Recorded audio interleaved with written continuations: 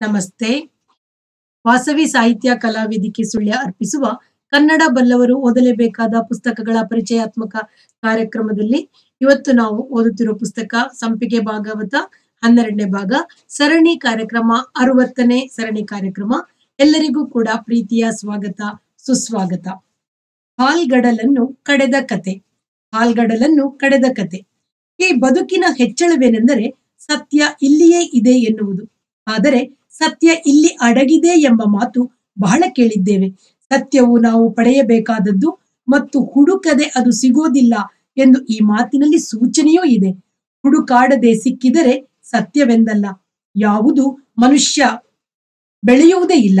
ಆಗ ಸಿಕ್ಕಿದುದರ ಬೆಲೆ ಕೂಡ ತಿಳಿಯದೆ ಹೋಗುತ್ತದೆ. ಹುಡುಕಾಡಿಯೇ ತನ್ನ ಬೆಳವಣಿಗೆಯನ್ನು ಸಾಧಿಸಬೇಕಾದುದು ಮನುಷ್ಯ ಜೀವಿಯ ಅದೃಷ್ಟವಾಗಿದೆ. ಒಂದೊಮ್ಮೆ ಹುಡುಕಾಡಿಯೇನು ಸಿಗಲಿಲ್ಲ ಎಂದಿಟ್ಟುಕೊಳ್ಳೋಣ. ಆ ಸಾಧ್ಯತೆಯೇ ಬಹಳ. ಆಗ ಸಿಗದೆ ಇದ್ದುದರ ಬೆಲೆಯನ್ನು ಕೂಡ ತಿಳಿಯಲಾಗುತ್ತದೆ. ಅಂದರೆ ಏನು ಸಿಗಲಿಲ್ಲ ಎಂಬ ಅನುಭವಕ್ಕೂ ವಿಶೇಷವಾದ ಬೆಲೆ ಇದೆ. ಅಂದರೆ ಕಹಿಯಾಗದೆ ಅಮೂರ್ತವನ್ನು ಧಾರಣ ಮಾಡಬಲ್ಲ ಸಾಮರ್ಥ್ಯದ ಗುರುತು ಹತ್ತುತ್ತದೆ. ಹುಡುಕಾಡಿಯೇ ಮನುಷ್ಯ ಇದನ್ನು ಪಡೆಯಬೇಕಾಗಿದೆ. ಸತ್ಯವು ಅಡಗಿ ಇದೆ ಎನ್ನುವುದು ಈ ಕಾರಣಕ್ಕೆ ಇರಬಹುದು. ಇನ್ನೊಂದು ರೀತಿಯಲ್ಲಿ ನೋಡುವುದಾದರೆ ಈ ಇಹ ಜೀವನ ಎಲ್ಲ ಅನುಭವಗಳು ಒಂದೆಡೆ ಸೇರುವ ನೆಲೆಯಾಗಿದೆ. ಮಣ್ಣಿನಲ್ಲಿ ಎಲ್ಲ ಬೀಜಗಳು ಇರುತ್ತವೆ ಎಂದಂತೆ, ಎಲ್ಲ ನೀರುಗಳಿಗೂ ಕಡಲು ಒಂದೇ ನೆಲೆ ಎಂದಂತೆ, ಭಾಷೆಯ ಒಡಲಿನಲ್ಲಿ ಎಲ್ಲ ಭಾವಗಳು ಖನಿಜಗಳ ಅದಿರಿನಂತೆ ಹುದುಗಿವೆ ಎಂದಂತೆ. ಭಾಷೆಯಲ್ಲಿ ಏನಿಲ್ಲ, ಸ್ತುತಿ ಇದೆ, ನಿಂದೆ ಇದೆ, ಎರಡು ಅಲ್ಲದ ವಾಸ್ತವದ ವರದಿ ಇದೆ, ಮತ ಭಿನ್ನ ಮತಗಳಿವೆ ಪೂರ್ವ ಪಕ್ಷ ಉತ್ತರ ಪಕ್ಷಗಳಿವೆ, ಕಟ್ಟುವಿಕೆ ಮತ್ತು ಮುರಿಯುವಿಕೆ ಇವೆ ಮತ್ತು ಇವೆರಡು ಜೊತೆಗೂ ಇರಬಹುದು. ವಿಷ, ಅಮೃತ ಎರಡು ಹಾಲ್ಗಡಲ್ನಲ್ಲಿ ಒಟ್ಟಿಗೆ ಇದ್ದಂತೆ ಬದುಕಿಗೊಂದು ಅರ್ಥವಿದೆ. ಇರಬೇಕು. ಇಲ್ಲವೆಂದರೆ ಅರ್ಥವನ್ನು ಉಂಟು ಮಾಡಿಕೊಳ್ಳಬೇಕು ಎನ್ನುವವರಿದ್ದಾರೆ. ಬದುಕಿಗೆ ಅರ್ಥವಿಲ್ಲ. ಏಕೆಂದರೆ ಇಲ್ಲಿ ಅನೇಕ ಪ್ರಶ್ನೆಗಳಿಗೆ ಉತ್ತರವಿಲ್ಲ. ಉತ್ತರಗಳೆಂದು ತೋರಿಸುವ ಪ್ರಯತ್ನದ ಹಿಂದೆ ಸೂಕ್ಷ್ಮವಾದ ಸ್ವಾರ್ಥವೇ ಗೋಚರವಾಗುತ್ತದೆ. ಇಲ್ಲಿನ ವಿಪರ್ಯಾಸಗಳನ್ನು ಏನೆಂದು ಗುರುತಿಸುವುದು? ಅರ್ಥವೆಂದೇ? ಅರ್ಥ ಶೂನ್ಯವೆಂದೇ? ಹೀಗೆ ಭಾವಿಸುವವರೂ ಇದ್ದಾರೆ. ಆದರೆ ಬದುಕಿಗೆ ಅರ್ಥವಿಲ್ಲ ಎನ್ನುವುದು ಒಂದು ಅನುಭವ. ವಿಚಿತ್ರವೆಂದರೆ ಇದೇ ಬಹು ಉತ್ಕಟವಾದ ದಿಗ್ಭ್ರಮೆ ಹುಟ್ಟಿಸುವಂತ ಅನುಭವವಾಗಿದೆ. ಏಕೆಂದರೆ ಅರ್ಥವಿಲ್ಲ ಎಂದಾಗ ನಮ್ಮ ನಿರೀಕ್ಷೆಯು ಮುರಿದು ಬಿದ್ದ ಅನುಭವ. ಮತ್ತು ಈ ಅನುಭವವು ತೀವ್ರ. ಅರ್ಥವು ಭಾಷೆಯಲ್ಲಿ ನಾವು ಮಾಡಿಕೊಂಡ ವಿಗ್ರಹ. ಅನುಭವವಾದರೂ ಆ ವಿಗ್ರಹಕ್ಕೆ ಮೂಲವಾದ ಉಪಾದಾನವಾದ ಮಣ್ಣಿನಂತಿದೆ. ಮಣ್ಣಿನಿಂದ ಮಾಡಿದ ವಿಗ್ರಹವು ಅದು ವಿಗ್ರಹವಾಗಿರುವಾಗಲೂ ಪೂಜೆಗೊಳ್ಳುತ್ತಿರುವಾಗಲೂ ಅದು ಮಣ್ಣೇ ಆಗಿದೆ. ಮಣ್ಣು ಮಾತ್ರ ಎಂದು ವಿಗ್ರಹವಲ್ಲ, ಅದು ಅನಂತ ವಿಗ್ರಹಗಳ ನೆಲೆ. ಭಾಷೆಯು ಹೀಗೆಯೇ, ಭಾಷೆಯು ಅನಂತ ಅರ್ಥಗಳ ನೆಲೆ. ಪರಸ್ಪರ ವಿರುದ್ಧವೆಂದು ತೋರುವ ದ್ವಂದ್ವಗಳ ನೂರು ಭಿನ್ನ ಭಾವಗಳ ನೆಲೆ. ಆದುದರಿಂದಲೇ ಭಾಷೆಯು ಅರ್ಥಾತೀತವೂ ಹೌದು. ಆದುದರಿಂದಲೇ ಅರ್ಥ ಶೂನ್ಯತೆ ಎನ್ನುವಾಗಲೂ ಅದು ಭಾಷೆಯ ಅನುಭವದ ಒಡಲಿನಿಂದ ಹೊರಗಿಲ್ಲ. ಅರ್ಥ ಶೂನ್ಯತೆಗೂ ಭಾಷೆಯೇ ನೆಲೆ ಹೀಗೆ ಇಹ ಜೀವನವು ಪರಸ್ಪರ ವಿರುದ್ಧವೆಂದುಕೊಂಡಿರುವುದನ್ನೆಲ್ಲ ಸೇರಿಸಿ ಎಲ್ಲ ಅನುಭವಗಳ ನೆಲೆ. ಇದು ಹೀಗಿರುವುದರಿಂದಲೇ ಇಲ್ಲಿಂದಲೇ ಮಥನಕ್ಕೆ ಬೇಕಾದ ಪ್ರೇರಣೆ ಕೂಡ ಹುಟ್ಟಿಕೊಂಡಿತು. ಮಥನ, ಜಿಜ್ಞಾಸೆ, ಅಲ್ಲಗಳೆಯುತ್ತಾ ಹೋಗುವ, ಬೇರ್ಪಡಿಸುತ್ತಾ ಹೋಗುವ, ಹುಡುಕಾಟದಲ್ಲಿಯೇ ಪರಸ್ಪರ ವಿರುದ್ಧ ಎಂಬಂತೆ ಇರುವುದರ ಮುಂಗಾಣಿಕೆ ಇದೆ. ಇದು ನಮ್ಮ ಮಾತಾಯಿತು. ನಾವು ಯಾವುದನ್ನು ಗೊತ್ತಿಲ್ಲದೆ ಹುಡುಕುತ್ತಿದ್ದೇವೋ ಆ ಸತ್ಯವೇ ಮಾತನಾಡುವುದಾದರೆ? ಬದುಕಿನಲ್ಲಿ ಪರಸ್ಪರ ವಿರುದ್ಧ ಇರು, ಇರುವವರಿಬ್ಬರೂ ಕೈ ಜೋಡಿಸಿ ಮತಿಸಿದರೆ ಸತ್ಯ ಹೊರಬಿದ್ದೀತು ಎಂಬ ಮಾತಾಗಿ ಇರುವುದು ಸಾಧ್ಯ. ಹಾಗೆ ಹೇಳುತ್ತದೆ ಭಾಗವತ. ಹಾಗೆ ಹೇಳಿದನಂತೆ ಭಗವಂತ ವಿಷ್ಣು. ಇದು ಹಾಳ್, ಹಾಲ್ಗಡಲನ್ನು ಕಡೆದ ಕತೆ. ಒಂದು ಕಾಲ ಇತ್ತು. ಒಂದೇ ತಂದೆಯ ಕಶ್ಯಪನ, ಇಬ್ಬರು ತಾಯಂದಿರ, ದಿತಿ ಮತ್ತು ಅದಿತಿಯ ಮಕ್ಕಳು, ದೇವತೆಗಳು, ದೈತ್ಯರು ಎಂದು ಇಬ್ಬಣವಾಗಿ ಇದ್ದರಲ್ಲ. ಅವರಲ್ಲಿ ದೈತ್ಯರ ಕೈ ಮೇಲಾಗಿದ್ದ ಕಾಲ. ಸ್ವರ್ಗದಲ್ಲಿ ದೈತ್ಯರದೇ ಆಳ್ವಿಕೆ. ಪರಮ ಧಾರ್ಮಿಕನಾದ ಬಲಿ ದೈತ್ಯ ಚಕ್ರವರ್ತಿಯಾಗಿದ್ದ. ದೇವತೆಗಳು ಹತಾಶರಾಗಿದ್ದರು. ಭಗವಂತನಾದ ವಿಷ್ಣುವನ್ನು ಕಂಡು ತಮ್ಮ ಅಳಲನ್ನು ತೋಡಿಕೊಂಡರಂತೆ. ವಿಷ್ಣು ಹೇಳಿದನಂತೆ, ದೇವತೆಗಳು, ದೈತ್ಯರು ಇಬ್ಬರು ಕೈ ಜೋಡಿಸಿರಿ. ಕೈ ಜೋಡಿಸಬೇಕಾದರೆ ಅಂಥದ್ದೊಂದು ಕೈ ಜೋಡಿಸಿಯೇ ನಡೆಸಬೇಕಾದ ಮಹಾನ್ ಘಟನೆಯೊಂದರ ಮುಂಗಾಣಿಕೆ ಬೇಕು. ನಾನು ಸೂಚಿಸುವುದಿದ್ದರೆ ನೀವು ಹಾಲ್ಗಡಲನ್ನು ಮತಿಸಿರಿ. ಅದು ಯುಗಕ್ಕೊಮ್ಮೆ ನಡೆಯಬಹುದಾದ ಮಹಾನ್ ಘಟನೆ. ಕಡಲನ್ನು ಕಡೆಯುವುದೇನು ಸಾಮಾನ್ಯವೇ? ಮಂದಾರ ಪರ್ವತವನ್ನು ಕಡೆಗೋಲಾಗಿಸಿ, ಸರ್ಪ ರಾಜನಾದ ವಾಸುಕಿಯನ್ನು ಕಡೆದಾರವಾಗಿಸಿ, ಎರಡು ಬದಿಗಳಲ್ಲಿ ದೈತ್ಯ ದಾನವರು ಮತ್ತು ದೇವತೆಗಳು ನಿಂತು ಅನಂತ ವಿಸ್ತಾರಕ್ಕೆ ಹರಡಿದ ಕಾಲ್ಗಡಲನ್ನು ಕಡೆಯಿರಿ. ಅದ್ಭುತ ರಸದ ದಾರಿದ್ರ್ಯದಿಂದ ಬಳಲುವ ಲೋಕದ ಮನಸ್ಸು ಈ ಮಹೋನ್ನತ ಘಟನೆಗೆ ಸಾಕ್ಷಿಯಾಗಿ, ಆ ರಸಾನುಭವದಿಂದ ತಣಿದೇ ತಣಿಯಲಿ. ನಿಮ್ಮ ಈ ಮಹಾನ್ ಮತನಕ್ಕೆ ನಾನು ಸಹಾಯಕನಾಗಿ ಒದಗುವೆ. ಆದರೆ ಒಂದು ಎಚ್ಚರವಿರಲಿ. ಕಡಲನ್ನು ಕಡೆದಂತೆ ಅದರ ಒಡಲಿನಿಂದ ನಾನಾ ಬಗೆಯ ಮಹತ್ವದ ವಸ್ತುಗಳು ಹೊರಬರಬಹುದು. ಅದಾವುದಕ್ಕೂ ಆಸೆ ಪಡೆದಿರಿ. ದೈತ್ಯರು ಆಸೆ ಪಟ್ಟರೆ ಅವರನ್ನು ಅಡ್ಡಿಪಡಿಸಲೂ ಬೇಡಿ ಆಸೆಯು ಮತನಕ್ಕೆ ಅಡ್ಡಿ ಎಂದು ಕಿವಿಮಾತು ಹೇಳಿದನಂತೆ. ಹೀಗೆ ನಡೆಯಿತು ಕ್ಷೀರ ಸಮುದ್ರ ಮತನ. ಮಂದರ ಪರ್ವತವನ್ನು ತಂದರು. ಹಾಲ್ಗಡಲ ನಡುವೆ ಅದನ್ನು ನೆಟ್ಟರು. ಮಂದರ ಎನ್ನುವುದಾದರೂ, ಎನ್ನುವ ಬೆಟ್ಟವಾದರೂ ಕಡಲಿನಲ್ಲಿ ಮೆಲ್ಲನೆ ಮುಳುಗುತ್ತಿತ್ತು. ಬೆಟ್ಟಕ್ಕೆ ಮುಳುಗುವ ಚಿಂತೆ. ಕಡಲಿಗೆ ಬೆಟ್ಟವನ್ನು ತನ್ನ ಮಡಿಲಲ್ಲಿ ಮಲಗಿಸಿಕೊಂಬ ಕಾತರ. ಬೆಟ್ಟವು ಮುಳುಗದೆ ನೇರ ಶಿಖರವೆತ್ತಿ ನಿಂತರೆ. ಅದು ಕಡಲಿನ ಆಳವನ್ನು ಅಳೆದಂತೆ ಗೌ, ಗರ್ವದ ಕೋಡೆಂದಾಗದೆ. ಕಾಳಿದಾಸ ಹಿಮಾಲಯವನ್ನು ಬಣ್ಣಿಸುವಾಗ ಅಗತ್ಯವಾಗಿ ಕಡಲಿನ ನೆನಪನ್ನು ಮಾಡಿಕೊಂಡಿದ್ದಾನೆ. ಪೂರ್ವ ಪಶ್ಚಿಮ ಸಮುದ್ರಗಳ ಒಡಲೊಳಗಿನಿಂದ ಸೀಳಿ ಎದ್ದು ನಿಂತಿದೆ ಹಿಮಾಲಯ. ಇದು ಭೂಮಿಯ ವಿಸ್ತಾರಕ್ಕೆ ಅಳತೆಗೋಲಿನಂತಿದೆ. ಪೃಥಿವ್ಯಾಹ ಇವ ಮಾನದಂಡಹ ಎನ್ನುತ್ತಾನೆ. ಕಡೆಗೋಲು ಮುಳುಗಿದ, ಮುಳುಗಿದರೆ ಕಡೆವುದೆಂತು? ಮಹಾಮಂದರ ಪರ್ವತವನ್ನು ಕಡಲ ನಡುವೆ ಮುಳುಗದಂತೆ ನಿಲ್ಲಿಸುವುದು ಹೇಗೆ? ಈಗ ಭಗವಂತ ಮಹಾ ಅದ್ಭುತವಾದ ಕೂರ್ಮ ಅವತಾರವನ್ನ ತಾಳಿದನಂತೆ. ಜಲಚರವಾದ ಮೀನಾದವನು ಈಗ ಜಲ ಭೂಚರ ಎರಡು ಆದ ಗಟ್ಟಿ ಬೆನ್ನಿನ ಆಮೆಯಾದನಂತೆ. ಮತನ ಮಾಡದೆ ಭಗವಂತನ ಬೆನ್ನಿನ ಬೆಲ, ಬೆಂಬಲ ತಿಳಿಯುತ್ತಿಲ್ಲವಲ್ಲ? ಮತ್ತು ಮತನಕ್ಕೆ ತನ್ನನ್ನೇ ಒಡ್ಡಿಕೊಳ್ಳುವ ಪಾಲ್ಗೊಳ್ಳುವ ಭಗವಂತನ ಅಂತಃಕರಣದ ಬಲ ಕೂಡ ತಿಳಿಯುತ್ತಿರಲಿಲ್ಲ. ಮಹಾಕೂರ್ಮವೊಂದು ಮಂದರವನ್ನು ತನ್ನ ಬೆನ್ನ ಮೇಲೆ ಹೊತ್ತು ಸಮುದ್ರ ಮತನ ನಡೆಯಿತು. ಮಂದರವೆಂಬ ಕಡೆಗೋಲು ರಭಸವಾಗಿ ತಿರುಗುತ್ತಿತ್ತು. ಕಡಲು ಮುರಿಯುತ್ತಿತ್ತು. ಈ ಕಡತದಲ್ಲಿ ಮೊದಲು ಉಕ್ಕಿ ಬಂದದ್ದು ಮಾತ್ರ ಹಾಲಾಹಲ ಎಂಬ ಕಟು ವಿಷ. ಈ ವಿಷದ ಕಟು, ಒಗರು, ದುರ್ಗಂಧ, ಕುದಿ, ಬಿಸಿ ಅಸಹನೀಯವಾಗಿತ್ತು. ಲೋಕದ ಲೋಕಗಳು ತಳಮಳ ತಲ್, ತಳಮಲ ತಲ್ಲಣಗೊಂಡವು. ಇಂಥದ್ದೊಂದು ವಿಷ ಕಡಲ ಎದೊಳ ಎದೆಯೊಳಗಿತ್ತು. ಇತ್ತೆಂದೇ ತಿಳಿದಿರಲಿಲ್ಲ. ಅದು ಒಳಗಿದ್ದಾಗ ಲೋಕಕ್ಕೆ ತೊಂದರೆ ಏನಿರಲಿಲ್ಲ. ಪೀಡಾಕಾರ ವಾಗಿರಲಿಲ್ಲ. ಅಂದರೆ ಅದರ ಜಾಗದಲ್ಲಿ ಅದಿತ್ತು. ಮತ್ತು ಅದಕ್ಕೆ ತನ್ನದೇ ಆದ ಒಂದು ಜಾಗ ಹಾಲ್ಗಡಲಿನಂತ ಹಾಲ್ಗಡಲಿನಲ್ಲಿ ಹಾಲ್ಗಡಲಿನಲ್ಲೂ ಇತ್ತು. ಪ್ರಾಯ ಹಾಲ್ಗಡಲಿನಲ್ಲಿ ಇದ್ದಾಗ ಹಾಲಾಹಲಕ್ಕೆ ತಾನು ವಿಷ ಎಂದೇ ತಿಳಿದಿರಲಿಲ್ಲ. ಯಾವಾಗ ಮತನ ಪ್ರಾರಂಭವಾಯಿತು? ವಿಷ ಪ್ರಕಟವಾಯಿತು. ಮತ್ತು ವಿಷಕ್ಕೆ ತಾನು ವಿಷ ಎನ್ನುವುದರ ಅರಿವಾಯಿತು. ಹೀಗೆ ತನಗೆ ತಾನೇ ಮತ್ತು ಲೋಕಕ್ಕೆ ಪ್ರಕಟವಾಗುವಾಗ ಅಪಾಯ ತಪ್ಪಿದ್ದಲ್ಲ. ಮನುಷ್ಯ ಜೀವಿ ತನ್ನೊಳಗಿನ ಹಾಲಾಹಲದ ಮುಂಗಾಣಿಕೆಯಿಂದಲೇ ಮತನಕ್ಕೆ ತೊಡಗದೆ ಇರುವುದೇನು? ಅಥವಾ ನಿಜಕ್ಕೂ ಒಂದು ಮತನಕ್ಕೆ ಸಿದ್ಧನಾಗಲೇಬೇಕಾಗಿದೆ ಎಂದು ತನ್ನಲ್ಲಿ ತಾನೇ ಮುಖಾಮುಖಿಯಾಗಬೇಕಾದರೆ ಅದು ಒಳಗಿರುವ ಭಗವಂತನ ಸೂಚನೆಯಿಂದಲೇ ಏನು? ಈಗ ಹೊರಬಂದ ಹಾಲಾಹಲಕ್ಕೆ ಲೋಕದಲ್ಲಿ ಒಂದು ಸ್ಥಾನ ಕಲ್ಪಿಸಬೇಕು. ಆ ಸ್ಥಾನ ವಿಷವು ಪ್ರಕಟವಾಗದೆ ಕಡಲಿನಲ್ಲಿ ತನ್ನಲ್ಲೇ ತಾನಿದ್ದಂತ ಸ್ಥಿತಿಗೆ ಸಂವಾದಿಯಾಗಿರಬೇಕು. ಇಲ್ಲದಿದ್ದರೆ ಅಪಾಯ ತಪ್ಪಿದ್ದಲ್ಲ. ಹಾಗೆ ದೇವತೆಗಳು ಮಹಾದೇವನಾದ ಪರಶಿವನನ್ನು ಕಾಪಾಡು ಎಂದು ಬೇಡಿಕೊಂಡರಂತೆ. ಏನು ವಿಚಿತ್ರ? ಈ ಬೇಡಿಕೆಗೆ ಏನರ್ಥ? ಹಾಲಾಹಲದಿಂದ ಲೋಕವನ್ನು ಕಾಪಾಡಬೇಕು. ಹಾಲಾ ಹಾಲಾಹಲವನ್ನೂ ಕಾಪಾಡಬೇಕು. ಒಂದೇ ದಾರಿ, ಹಾಲಾಹಲಕ್ಕೆ ತನ್ನ ದೇಹದಲ್ಲೇ ಒಂದು ಜಾಗ ಒದಗಿಸಬೇಕು. ಪರಶಿವನಿಗೆ ನಸುನಗು ಅರಳಿತಂತೆ. ಮನುಷ್ಯರು ನಿಜವಾಗಿ ಮತನಕ್ಕೆ ಇಳಿದರೆ ಅದು ಅವರ ದೇವರನ್ನು ಮತಿಸಿದಂತೆ ಆಗುವುದು. ವಿಷ್ಣು ಕೂರ್ಮನಾಗಿ ಮಂದಿರಕ್ಕೆ ಬೆನ್ನು ಕೊಟ್ಟ ತಾನು ಹಾಲಾಹಲಕ್ಕೆ ತನ್ನ ಒಡಲನ್ನು ಕೊಡಬೇಕು. ಶಿವ ವಿಷವನ್ನು ಕುಡಿದೇ ಬಿಡುವ ಸಂಕಲ್ಪ ಮಾಡಿದನಂತೆ ಮಡದಿ ಗೌರಿಯೊಡನೆ ಅವಳು ಸರ್ವಮಂಗಳೆಯಲ್ಲವೇ ಕೇಳಿ ಒಪ್ಪಿಗೆ ಪಡೆದು ಹಾಲಾಹಲವನ್ನು ಬೊಗಸೆಗೆ ಆಕರ್ಷಿಸಿ ಆಚಮನ ಮಾಡುವಂತೆ ಹೀರಿಬಿಟ್ಟನಂತೆ ಲೋಕ ತನಗಾಗಿ ವಿಷ ಕುಡಿದವನನ್ನು ಪೂಜಿಸಬೇಕು. ಅಂತವನನ್ನು ಗುರುತಿಸಬೇಕು. ಹಾಗೆ ಗುರುತಿಸುವುದಕ್ಕಾಗಿಯೇ ಶಿವನ ಕೊರಳು ಗರಳದಿಂದ ಕಪ್ಪಾಯಿತು. ಆ ಕಪ್ಪು ಕೊರಳಿಗೆ ಚೆಲುವಾದ ಅಲಂಕಾರವೇ ಆಯಿತು. ಶಿವನು ಅರ್ಧನಾರೀಶ್ವರ, ಅವನ ಕೊರಳಿನ ಒಂದು ಬದಿ ಕಪ್ಪು, ಇನ್ನೊಂದು ಬದಿ ಮಂಜು ಬಿಳಿ. ಅದು ಗೌರಿಯ ಕೊರಳು. ಗೌರಿಗೆ ಸದಾ ಒಂದು ಹೆಮ್ಮೆ. ಲೋಕವನ್ನು ಪಾರು ಮಾಡಲೆಂದು ಹಾಲಾಹಲ ಕುಡಿದ ಗಂಡನ ಕೊರಳಿಗೆ ಜೋತು ಬಿದ್ದಳೆಂದು.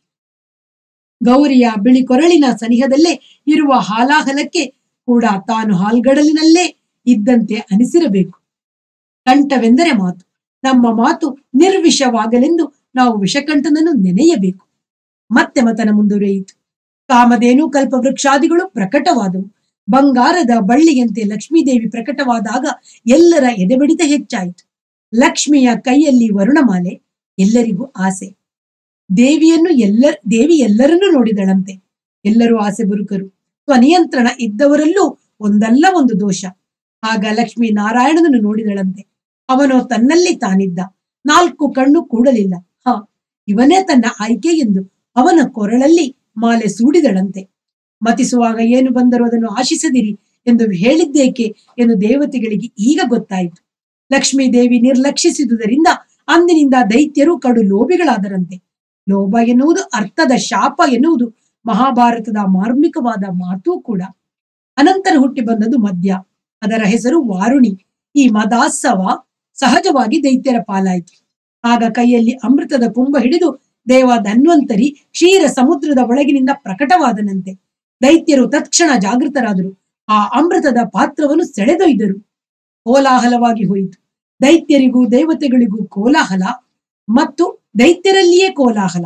ಮತನಕ್ಕೆ ಜಗಳಕ್ಕೆ ಹೆಚ್ಚು ವ್ಯತ್ಯಾಸವಿಲ್ಲ. ಎಂಬಂತೆ ಪರಿಸ್ಥಿತಿ ಪ್ರಕ್ಷುಬ್ಧವಾಯಿತು. ಆಗ ಪ್ರಕಟಗೊಂಡದ್ದು ಭಗವಂತನ ಮೋಹಿನಿ ರೂಪ. ಈ ರೂಪವನ್ನು ನೋಡಿದವರಿಗೆ ಅಮೃತ ಮರೆತು ಹೋಯಿತು. ಅಮೃತದ ಕುಂಭವನ್ನು ಅವಳ ಕೈಯಲ್ಲೇ ಕೊಟ್ಟರು. ನೀನೇ ಹಂಚಿಬಿಡು ಎಂದರು. ನಿಜಕ್ಕಾದರೆ ಅಮೃತ ಹಂಚುವ ಅಧಿಕಾರ ಭಗವಂತನದೇ ಅಲ್ಲವೇ? ಮರುಳರಾದರೂ ಹೇಳಿದ್ದು ಸರಿಯಾಗಿಯೇ ಇತ್ತು. ಅಮೃತವೆಂದರೆ ಭಗವಂತನ ನಾಮ. ಮೋಹಿನಿಯ ರೂಪದ ಮೇಲೆ ಆಸೆಯಾದರೆ ನಾಮ ಏಕೆ? ಅಮೃತ ಕುಡಿದವರು ಅಮೃತ, ಅಮರರಾಗುತ್ತಾರಂತೆ. ಅಂದರೆ ಅವರು ಉಳಿದ ಎಲ್ಲದಕ್ಕೂ ಮೃತರಂತೆ ಆಗುತ್ತಾರೆ. ಆಸೆಯೇ ಅಮೃತತ್ವಕ್ಕೆ ಅಮೃತ ಪಾನಕ್ಕೆ ವಿರೋಧಿ. ಈಗ ಮತನ ಎನ್ನುವುದು ಬೇರೆಯ ಆಯಾಮವನ್ನು ಪಡೆಯಿತು. ಅದು ವ್ಯಕ್ತಿತ್ವದ ಮತನ, ಮನಸ್ಸಿನ ಮತನ, ಸ್ವಭಾವದ ಮತನವಾಗಿ ಬಿಟ್ಟಿತು. ಅಂದರೆ ಲೋಕದ ಮಥನವಾಯಿತು ಚರಿತ್ರೆಯ ಮಥನವಾಯಿತು ಮಹಾಕೂರ್ಮವನಾಗಿ ಬೆನ್ನು ಕೊಟ್ಟವ ಮೋಹಿನಿಯಾಗಿ ಮುಖ ತೋರಿಸಿ ಎಲ್ಲರ ಹಿಂದು ಮುಂದುಗಳನ್ನು ಅರಿತ. ಯಾರಿಗೆ ನಿಜಕ್ಕೂ ಬೇಕಾಗಿದೆ ಅಮೃತ? ನರ ಮೃಗ ರೂಪದ ಭಗವಂತ. ಸೃಷ್ಟಿ ಎಂದರೆ ಒಂದು ಮಥನವೇ. ಮಥನ ಎಂದಾಗ ಆ ಶಬ್ದದ ಮರ್ಯಾದೆಗೆ ತಕ್ಕಂತೆ ಅನೇಕ ಅರ್ಥಗಳು ಹೊಮ್ಮುತ್ತವೆ. ಅನೇಕಾನೇಕ ಸಂಗತಿಗಳು ಪರಸ್ಪರ ವಿರುದ್ಧವೆನಿಸುವ ಸಂಗತಿಗಳು ಇಲ್ಲಿ ಒಂದೆಡೆ ಸೇರಿವೆ ಎನ್ನುವ ಅರ್ಥ. ಹಾಗೆ ಸೇರಿರುವುದರಿಂದಲೇ ಮತನ ಮಾಡಬೇಕೆನ್ನುವ ಅನಿವಾರ್ಯ ಒತ್ತಡ ಉಂಟಾಗುವುದು ಎನ್ನುವ ಅರ್ಥ. ಮತನದಿಂದ ನಮಗೆ ಬೇಕಾದುದನ್ನು ಪಡೆಯಬಹುದು ಎನ್ನುವ ಅರ್ಥ. ಬೇಕಾದುದನ್ನು ಪಡೆಯುವ ತುಡಿತವು ಸಹಜವಾದುದಾದರೂ ಹಾಗೆ ನಮಗೆ ಬೇಕಾದುದನ್ನು ಪಡೆಯುವುದರಲ್ಲಿಯೇ ನಾವು ಗೊತ್ತಿಲ್ಲದಂತೆ ನಮ್ಮನ್ನು ಸೀಮಿತ ಸೀಮಿತಗೊಳಿಸಿಕೊಂಡಿದ್ದೇವೆ ಎನ್ನುವ ಅರ್ಥ. ಇದನ್ನೊಪ್ಪಿದರೆ ಪಡೆಯಬೇಕಾದದ್ದು ಪಡೆಯಬಾರದ್ದು ಎನ್ನುವ ದ್ವಂದ್ವದಲ್ಲಿಯೇ ನಾವು ಇನ್ನೂ ಬಳಲುತ್ತಿದ್ದೇವೆ ಎನ್ನುವ ಅರ್ಥ. ಈ ದ್ವಂದ್ವವನ್ನು ಮೀರುವುದೇ ಮತನದ ನಿಜವಾದ ಫಲ ಎನ್ನುವ ಅರ್ಥ. ದ್ವಂದ್ವವನ್ನು ಮೀರಿದರೆ ಪರಸ್ಪರ ವಿರುದ್ಧವೆಂದು ನಾವು ಅಂದುಕೊಂಡಿರುವುದು ಹಾಗಲ್ಲದೆ ಬೇರೆಯೇ ರೀತಿಯಲ್ಲಿ ಗೋಚರವಾಗಬಹುದು ಎನ್ನುವ ಅರ್ಥ.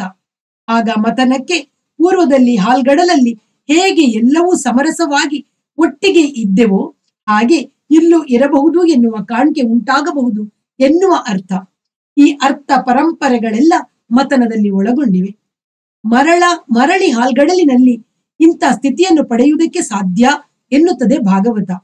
ಆಗ ಎಲ್ಲವೂ ವಿಷ, ಅಮೃತ ಎಲ್ಲವೂ ಅದರದರ ಅದರದರ ಜಾಗೆಯಲ್ಲಿ ಅವು ಚಿತ್ಯಭಂಗವಿಲ್ಲದೆ ರಸಭಂಗವಿಲ್ಲದೆ ಇರುತ್ತದೆ ಎನ್ನುತ್ತದೆ ಭಾಗವತ. ಈ ತಿಳುವಳಿಕೆ ದೇವತೆಗಳಿಗೂ ಉಂಟಾಗಬೇಕಾದ ಉಂಟಾಗಬೇಕಾದದ್ದು ಎನ್ನುತ್ತದೆ ಭಾಗವತ. ಈ ತಿಳುವಳಿಕೆ ಇಲ್ಲದ ಎಲ್ಲವೂ ಬರಿಯ ಕರ್ಮಕಾಂಡ ಎನ್ನುತ್ತದೆ ಭಾಗವತ. ಹಾಗೆಂದು ಸಮುದ್ರ ಮತನದ ಕಥೆಯಲ್ಲಿಯೂ ಕರ್ಮಕಾಂಡದ ಗುಣಗಳಿವೆ. ಭಗವಂತ ಅಮೃತವನ್ನು ಹಂಚಲು ಮೋಹಿನಿಯಾಗಿ ಕಣ್ಣು ಕೋರೈಸಿದನಷ್ಟೇ, ದೇವತೆಗಳಿಗೆ ಅಮೃತವನ್ನು ಹಂಚಿದನಂತೆ, ದೇವ ದೈತ್ಯರಿಗೆ ಅಮೃತ ಸಿಗಲಿಲ್ಲ ಅಮೃತ ಪ್ರಾಶನದಿಂದ ಆತ್ಮವಿಶ್ವಾಸವನ್ನು ಮತ್ತೆ ಪಡೆದ ದೈ, ದೇವತೆಗಳು ದೈತ್ಯರನ್ನು ಸೋಲಿಸಿದರು. ದೇ ದೇವ ಲೋಕದ ಆಳ್ವಿಕೆಯನ್ನು ಮರಳಿ ಪಡೆದರು. ದೇವರಾಜನಾದ ಇಂದ್ರನು ದೈತ್ಯೇಶ್ವರನಾದ ಬಲಿಚಕ್ರವರ್ತಿಗೆ ಸಾಯ ಬೀಳುವಂತೆ ವಜ್ರಾಘಾತ ಮಾಡಿದನಂತೆ. ಆದರೆ ದೈತ್ಯ ಗುರುಗಳಾದ ಶುಕ್ರಾಚಾರ್ಯರು ತಮ್ಮ ಸಂಜೀವಿನಿ ಮಂತ್ರ ಬಲದಿಂದ ಬಲಿಯನ್ನು ಚೇತರಿಸಿಕೊಳ್ಳುವಂತೆ ಮಾಡಿ ಮರಳಿ ಬಲಿಯನ್ನು ಬಲಿಷ್ಠನನ್ನಾಗಿ ರೂಪಿಸಿದರು. ದೇವತೆಗಳು ದೈತ್ಯರ ನಡುವೆ ಮತ್ತೆ ಯುದ್ಧವಾಯಿತು. ದೇವತೆಗಳು ಮತ್ತೆ ಸೋತರು. ಹೀಗೆ ಅಮೃತಮತನವು ಕರ್ಮಕಾಂಡದ ಸಿಕ್ಕುಗಳಿಂದ ಮುಕ್ತವಾಗದೆ ಅರಿವಿನ ನವನೀತವನ್ನು ಪಡೆಯದೆ ಹೋಯಿತು. ಪಡೆಯದೆ ಹೋದುದರ ಮಹತ್ವವನ್ನು ಹೊಳೆಯಿಸುವುದೇ ಇಂಥ ಕಥೆಗಳ ಗುಣವೋ ಏನು? ಭಗವಂತ ನರಸಿಂಹನಾಗಿ ಕಂಬವನ್ನು ಒಡೆದು ಪ್ರಕಟವಾಗಿ ಕತೆ ಗುಟ್ಟಾಗಿ ಏನು ಹೇಳುತ್ತದೆ? ಕೇಳೋಣ. ದೇವರ ಮನೆಯ ಬಾಗಿಲ ಕಾಯುವವರಂತೆ ಆ ಇಬ್ಬರು, ಅವರ ಹೆಸರು ಜಯ ವಿಜಯ. ದೇವರ ಪಾರ್ಶ್ವದವರಿಗೆ ಸೋಲೆಲ್ಲಿಯದು. ಸಮಸ್ಯೆ ಏನೆಂದರೆ ತಮಗೆ ಸೋಲಿಲ್ಲ ಎಂದು ಇವರಿಗೆ ತಿಳಿದು ಬಿಟ್ಟಿತು. ತಮ್ಮ ಹೆಸರಿನ ಮೇಲೆ ಹೆಮ್ಮೆಯುಂಟಾಯಿತು. ದೇವರ ನಾಮ ಮರೆತು ಹೋಯಿತು. ಇಂಥ ಸೇವಕರಿಂದ ಕಾಪಾಡಲ್ಪಡಬೇಕಾದ ಪಾಡು ದೇವರಿಗೂ ಬಂದಿತೆನ್ನಬೇಕು. ಆಗಿನಿಂದಲೇ ದೇವರು ಕಂಬದ ಮರೆಯಲ್ಲಿ ಅಡಗುವುದಕ್ಕೂ ಕಲಿತನು. ಒಮ್ಮೆ ಏನಾಯಿತೆಂದರೆ ಸನಕಾದಿ ಮುನಿಗಳು, ಇವರು ಬ್ರಹ್ಮಮಾನಸ ಪುತ್ರರು, ದೇವರ ದರ್ಶನಕ್ಕೆ ಬಂದರಂತೆ. ಆಗ ಈ ಜಯ ವಿಜಯರು ತಮ್ಮ ಬಂಗಾರದ ಬೆತ್ತ ಜಳಪಿಸಿ, ಈಗ ಸಮಯವಿಲ್ಲ ಎಂದರಂತೆ. ಎಲಾ ಎಲ ಮೊದಲಿಗೆ ದೇವರಿಗೆ ಮನೆಯೇ ಬೇಕಿಲ್ಲ, ಲೋಕವೇ ಮನೆ ಮನೆ ಇದ್ದರೆ ಅದಕ್ಕೆ ಬಾಗಿಲಿ, ಮನೆ ಇದ್ದರೆ ಅದಕ್ಕೆ ಬಾಗಿಲಿದ್ದರೆ ಅದು ತೆರೆದ ಬಾಗಿಲಿ. ದೇ, ತೆರೆದ ಬಾಗಿಲಿಗೆ ಕಾವಲು ಯಾಕೆ? ಕಾವಲು ಇದ್ದರೆ ಹಾಗೆ ಕಾಯುವವರಿಗೆ ಸೊಕ್ಕು ಎಂಬುದೇ ಇಲ್ಲ. ಹೀಗಿರಲಾಗಿ ದೇವರು ಎಂಬ ದೇವರು ಈ ಸೊಕ್ಕಿನ ಮಂದಿಯ ನಡುವೆ ಬಾಳುವೆ ಮಾಡುವುದು ಹೇಗೆ? ತನಕಾದಿಗಳಿಗೆ ನಿಜವಾಗಿಯೂ ಸಿಟ್ಟು ಏರಿತು. ದೇವರ ಬಳಿಗೆ ಹೋಗುವವರನ್ನು ತಡೆಯುವ ಮಂದಿ ನೀವು. ಇದು ರಾಕ್ಷಸಿಯ ಗುಣ. ನೀವು ರಾಕ್ಷಸರೇ ಆಗಿ ಹೋಗಿ, ಆಗ ನಿಮ್ಮನ್ನು ನೇರವಾಗಿ ಎದುರಿಸಬಹುದು ಎಂದು ಶಾಪ್ ಶಾಪವಚನ ನುಡಿದರಂತೆ. ಹಾಗೆ ಹಿರಣ್ಯಾಕ್ಷ ಹಿರಣ್ಯಕಶಿಪು ಎಂಬ ಇರುವರು ಮಹಾದೈತ್ಯರ ಜನನವಾಯಿತು. ಇವರಲ್ಲಿ ಹಿರಣ್ಯಾಕ್ಷನು ಭಗವಂತ ಮಹಾವರಾಹನಾಗಿ ಬಂದು ಸಂಹಾರ ಮಾಡಿ ಭೂಮಿಯನ್ನು ಉದ್ಧರಿಸಿದ ಕತೆ ಮೊದಲು ನಡೆಯಿತು. ಈ ಈ ಕಾರಣದಿಂದ ಹಿರಣ್ಯಕಶಿಪುವಿಗೆ ನಾನಾ ಅವತಾರ ತಾಳಬಲ್ಲ ಹರಿ, ನಾರಾಯಣ, ವಿಷ್ಣು ಎಂದೆಲ್ಲ ಲೋಕದಲ್ಲಿ ಕೊಂಡಾಲ್, ಕೊಂಡಾಡಲ್ಪಡುವ ದೇವರ ಬಗ್ಗೆ ಇನ್ನಿಲ್ಲದ ದ್ವೇಷ ಉಂಟಾಯಿತು. ಅವನ ಕಿವಿಗಳಿಗೆ ದೇವರ ನಾಮ ಕೇಳಿದರೆ ಬಗೆ ಹೊತ್ತಿ ಉರಿಯುತ್ತಿತ್ತು. ಎಲ್ಲೆಡೆ ತನ್ನ ನಾಮವೇ ಕೇಳುತ್ತಿರಬೇಕು ಎಂದರೆ ತಾನೇ ದೇವರಾಗಬೇಕು. ಹೀಗಲ್ಲದೆ ದೇವರನ್ನು ಹೊಡೆದು ಓಡಿಸುವುದಕ್ಕೆ ಬೇರೆ ದಾರಿ ಇಲ್ಲ ಎನಿಸಿತು. ಇದನ್ನು ಸಾಧಿಸುವುದಕ್ಕೆ ಹಿರಣ್ಯಕಶಿಪು ಉಗ್ರ ತಪಸ್ಸಿಗೆ ನಡೆದನಂತೆ. ಹಿರಣ್ಯಕನ ಚಿಂತೆ ಇದು. ತನ್ನ ತಮ್ಮನನ್ನು ವರಾಹ ರೂಪಿನಿಂದ ಬಂದು ವಿಷ್ಣು ಕೊಂದು ತೆಗೆದ. ತಾನು ಹೀಗೆಲ್ಲ ಸಾಯಬಾರದು. ಸಾಯಲೇಬಾರದು ಅಂತ ವರ ಬ್ರಹ್ಮನಿಂದ ಸಿಗದಿದ್ದರೆ ಅದಕ್ಕೆ ಅತಿ ಸಮೀಪವಾದ ವರವನ್ನು ಪಡೆಯಬೇಕು. ಹೀಗೆ ತನ್ನ ರಕ್ಷಣೆಯನ್ನು ಮೊದಲು ಸಾಧಿಸಿ, ಆಮೇಲೆ ದೇವತೆಗಳನ್ನು, ಅವರ ನೆರವಿಗೆ ಬರುವ ಹರಿಯನ್ನು ತುಡುಕಬೇಕು. ದೈತ್ಯ ಹೀಗೆ ಚಿಂತಿಸುತ್ತಾ ತಪಸ್ಸಿಗೆ ತೊಡಗಿದ. ಅವನ ಮಡದಿ ಪರಮಸಾಧ್ವಿಯಾದ ಕಯಾದು. ಆಗ ಗರ್ಭವನ್ನು ಹೊತ್ತು ಅರಮನೆಯಲ್ಲಿದ್ದಳು.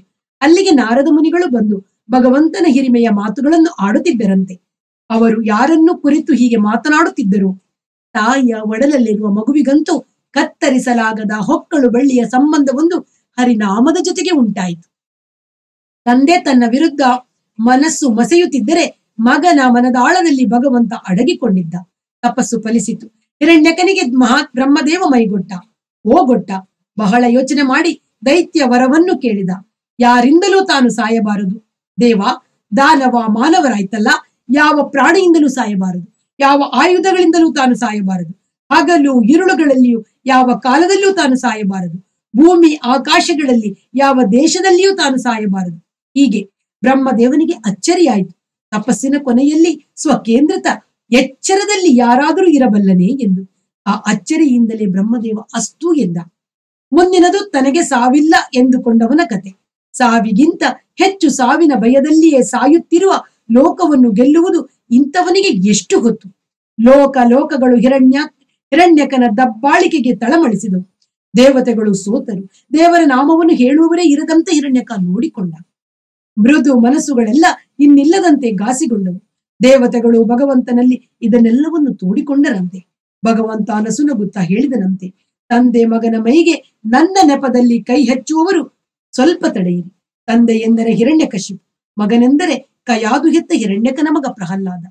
ಈ ಮಾತು ಅರ್ಥವಾಗುವವರಿಗೆ ಆಯಿತು. ಜಯ ವಿಜಯರು ಮೊದಲೇ ಸೊಕ್ಕಿದ್ದರು. ಯಾವಾಗ ಸನಕಾದಿಗಳ ಮೇಲೆ ಸೊಕ್ಕು ತೋರಿಸಿದರು ಆಗ ಅವರ ಪತನವಾಯಿತು. ಆ ದೃಶ್ಯ ಪುನರಭೀನೀತವಾಗಬೇಕಿತ್ತು. ಆಗಬೇಕಾದ್ರೆ ಪ್ರಹ್ಲಾದನ ಮೇಲೆ ಹಿರಣ್ಯಕ ಕೆರಳಬೇಕು. ಆ ದಿನ ಬಂತು. ದೈತ್ಯರ ಗುರುಕುಲದಲ್ಲಿ ಪ್ರಹ್ಲಾದ ಓದುತ್ತಿದ್ದ. ಅಲ್ಲಿ ತಾನು ತನ್ನ ತಾಯ ಒಡಲಲ್ಲಿ ಒಡಲಲ್ಲಿ ಇದ್ದಾಗ ಉಂಡ ಹರಿನಾಮದ ರುಚಿಯನ್ನು ಬಿತ್ತುತ್ತಿದ್ದ. ಬಾಲ್ಯದ ಅನುಭವವು ಪ್ರಬಲ ಎನ್ನುತ್ತಾರೆ.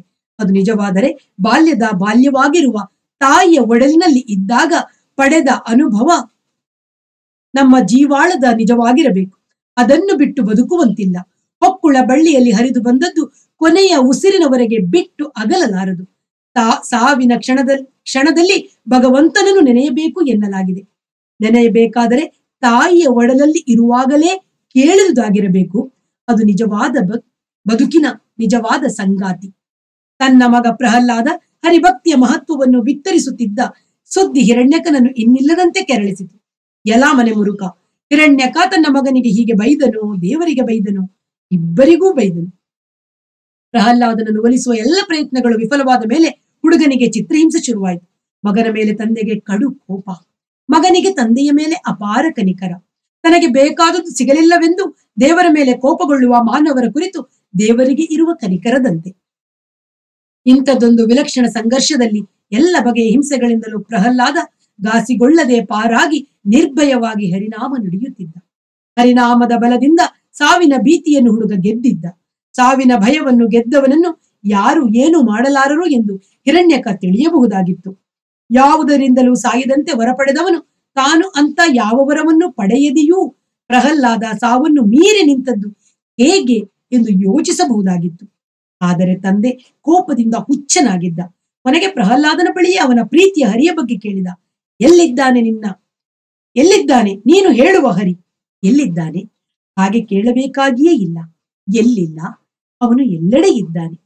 ಈ ಲೋಕವೆಲ್ಲವೂ ಅವನ ಮನೆ. ನಿಜಕ್ಕಾದರೆ ನಾವು ಅವನ ಮನೆಯಲ್ಲಿಯೇ ಇರುವುದು. ಅವನ ಮನೆಯಲ್ಲೇ ಇದ್ದು ಯಜಮಾನನೆಲ್ಲಿದ್ದಾನೆ ಎಂದು ಸೊಕ್ಕಿನಿಂದ ಕೇಳುವುದು ಒಳ್ಳೆಯ ಮನೆಮಂದಿಯ ಲಕ್ಷಣವಲ್ಲ. ನಿನ್ನಲ್ಲಿ ಉಪದೇಶ ಕೇಳಿಲ್ಲ. ಕಾವ್ಯಾತ್ಮಕ ಮಾತು ಬೇಕಿಲ್ಲ. ನಾನು ಪ್ರಯೋಗವಿಲ್ಲದೆ ನಂಬತಕ್ಕವನಲ್ಲ. ಎಲ್ಲೆಡೆ ಇದ್ದಾನೆ, ಎಂದ ಮೇಲೆ ಈ ಕಂಬದಲ್ಲೂ ಇದ್ದಾನೇನು? ಈ ಒಂದು ಮಾತಿನಿಂದ ಪ್ರಹ್ಲಾದನಲ್ಲಿ ಒಳನೋಟ ಉಂಟಾಯಿತು.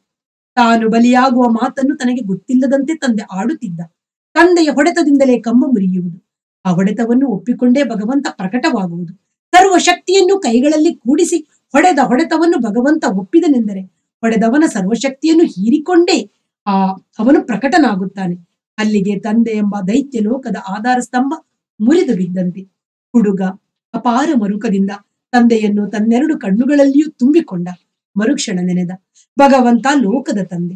ಲೋಕದ ಆ ತಂದೆಯನ್ನು ತನ್ನ ತಂದೆ ಒಮ್ಮೆ ನೋಡಿಬಿಡಲಿ. ಆ ತಂದೆಯ ತೊಡೆಯಲ್ಲಿ ಮಲಗಿ ಆ ಮಗನ ಪ್ರೀತಿಯನ್ನೊಮ್ಮೆ ಪಡೆಯಲಿ. ಹಿರಣ್ಯಕ ಹುಡುಗನ ಈ ಸ್ಫೋಟ ಹುಡುಗನ ಹಿರಣ್ಯಕನ ಹುಡುಗ ಸ್ಫೋಟಕ್ಕೆ ಕಾದು ಕಂಪಿಸುತ್ತಿರುವ ಕಂಬಕ್ಕೆ ಕೈ ಮುಗಿದ ನಂತೆ. ಇದನ್ನು ನೋಡಿದ ತಂದೆಗೆ ರೋಷ ತಡೆಯಲಾಗಲಿಲ್ಲ. ತನ್ನ ಸರ್ವ ಶಕ್ತಿಯನ್ನು ಉಪಯೋಗಿಸಿ ಕಂಬಕ್ಕೆ ಹಿರಣ್ಯಕ ಹೊಡೆದ. ದೊಡ್ಡ ಸದ್ದಿನೊಂದಿಗೆ ಕಂಬ ಮುರಿದು ಬಿತ್ತು. ಆ ಬಯಲಿನಲ್ಲಿತ್ತು ಗುಹೆಯಿಂದ ದುಮ್ಮಿಕ್ಕಿದ ರೋಷ ಭೀಷಣ ನರಸಿಂಹಾಕೃತಿ. ಒಂದು ಕ್ಷಣದ ಅವಕಾಶವಿತ್ತು ಹಿರಣ್ಯಕಶಿಪುವಿಗೆ ನರಸಿಂಹನ ರೂಪವನ್ನು ಗ್ರಹಿಸುವುದಕ್ಕೆ. ಗ್ರಹಿಸಿಯೇ ಗ್ರಹಿಸಿದ. ತಾನು ಯಾರಿಂದಲೂ, ಮನುಷ್ಯರಿಂದಲೂ, ಪ್ರಾಣಿಯಿಂದಲೂ ಸಾಯಬಾರದೆಂದು ಹೊರಬೇಡಿದೆ ನರ ಮೃಗ ರೂಪನಾಗಿ ಭಗವಂತ ಪ್ರಕಟವಾದಾನೆಂದು ಊಹಿಸಲಾರದೆ ಹೋದೆ. ಈ ರೂಪವೊಂದು ಅದ್ಭುತ. ಯಾವ ಆಯುಧದಿಂದಲೂ ಸಾಯಬಾರದು ಎಂದುಕೊಂಡೆ. ನರಸಿಂಹನ ಕೂರು ಗೂರು ನನ್ನನ್ನು ಮುಟ್ಟಬಹುದು ಎಂದುಕೊಳ್ಳಲಾರದೆ ಹೋದೆ. ಈಗ ಈ ಕೂರು, ಕೂರುಗರ ಸವಿಯನ್ನು ಸವಿಯುವೆ. ಹಗಲು ಎರುಳುಗಳಲ್ಲಿ ಸಾಯಲಾಗದು ಎಂದುಕೊಂಡೆ. ಆ ಮುಸ್ಸಂಜೆಯಲ್ಲಿ ಸಿಂಹ ಬೇಟೆಗೆ ಹೊರಟಿದೆ. ಭೂಮಿ ಆಕಾಶಗಳಲ್ಲಿ ಸಾಯಬಾರದು ಎಂದೆ. ಏನು? ತನ್ನ ತೊಡೆಯ ಮೇಲೆ ಎಳೆದುಕೊಳ್ಳುವನೇನು? ನನ್ನ ಮಾತುಗಳನ್ನು ಪಾಲಿಸಿ ತಾನು ಊಹಿಸಲಿಕ್ಕೂ ಅಸಾಧ್ಯವಾದ ಇನ್ನೊಂದು ರೀತಿಯಲ್ಲಿ ಸಜ್ಜಾಗಬಲ್ಲನೆಂದು ದೇವರು ತೋರಿಸಿಕೊಟ್ಟ. ದೇವರನ್ನು ನೋಡಲು ಈಗ ಸಮಯವಿಲ್ಲ. ಎಂದಾಗ ಸನಕಾದಿಗಳ ಕಣ್ಣಲ್ಲಿ ಕಂಡ ದಿಗ್ಭ್ರಮೆಯನ್ನು ಕಂಬದಲ್ಲೂ ಇದ್ದಾನೇನು ಎಂದು ತಾನು ಅಬ್ಬರಿಸುವಾಗ ತನ್ನ ಮಗನ ಕಣ್ಣುಗಳಲ್ಲಿ ಕಂಡೆ. ನನ್ನ ಮಾತುಗಳನ್ನು ಪಾಲಿಸಿದ ಈ ದೇವರ ಮನೆಯ ಬಾಗಿಲು ಕಾಯುವ ಬಂಟನಾದರೆ ಸಾಕು. ಇಷ್ಟು ಭಾವ ಹಿರಣ್ಯಕನ ಅಂತರಾಳದಲ್ಲಿ ಹಾದು ಹೋಗುತ್ತಿರುವಾಗ ನರಸಿಂಹ ತನ್ನ ತೊಡೆಯ ಮೇಲೆ ರಕ್ಕಸನನ್ನು ಎಳೆದುಕೊಂಡಾಗಿತ್ತು. ಕೂರುಗುರು, ಕೂರುಗುರುಗಳು ಕರುಳನ್ನು ಸೆಳೆಯುತ್ತಿದ್ದವು. ಕರುಳನ್ನು ಹೀಗೆ ಸೆಳೆಯುವುದು ಉಂಟೇನು? ಮುಂದಿನ ಭಾಗ, ಮುಂದಿನ ಭಾನುವಾರ, ಮತ್ತೆ ನಮ್ಮ ನಿಮ್ಮ ಭೇಟಿ. ಅಲ್ಲಿಯವರೆಗೆ ಪ್ರೀತಿಯ ನಮಸ್ಕಾರ. ವಾಸವಿ ಸಾಹಿತ್ಯ ಕಲಾವೇದಿಕೆ ಸುಳ್ಯ.